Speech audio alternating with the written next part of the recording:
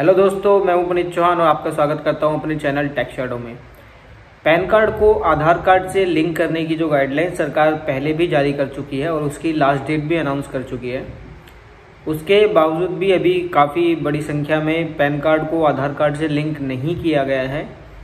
तो उसके बाद जो है, सरकार ने इसके ऊपर फ़ीस अप्लाई कर दी थी हज़ार पंद्रह सौ रुपये के आसपास कि पैन कार्ड को आधार कार्ड से लिंक करने की जो फ़ीस रहेगी वो ये रहेगी। बट अभी दोबारा से इसकी जो डेट है वो फिक्स करी गई है।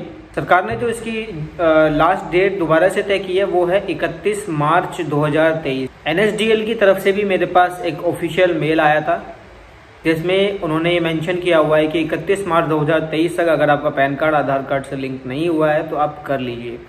नहीं तो आपको बाद में भी दिक्कत आ सकती है बैंकिंग से रिलेटेड भी दिक्कत आ सकती है, और भी आपके कई काम जो है वो रुक सकते हैं अगर आपने अपने पैन कार्ड को आधार कार्ड से लिंक नहीं किया तो।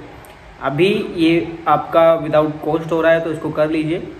डेट याद रखिएगा 31 मार्च 2023 thank you and thank you so much for watching this video channel पर नए हैं तो सब्सक्राइब ज़रूर कीजिएगा और नोटिफिकेशन बेल दबाइए ताकि कोई भी नई न्यूज़ या अपडेट आप लोगों से कभी मिस ना हो।